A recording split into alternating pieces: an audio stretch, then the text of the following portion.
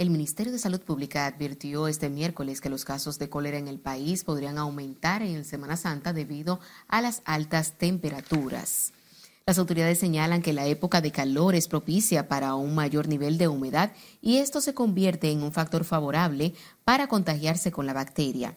El último brote de cólera en el país tardó dos años para irse, por lo que aunque lleguen momentos que no se reporten casos desde el país, hay que estar alerta por la propagación de enfermedades infecciosas en Haití, advierte Salud Pública.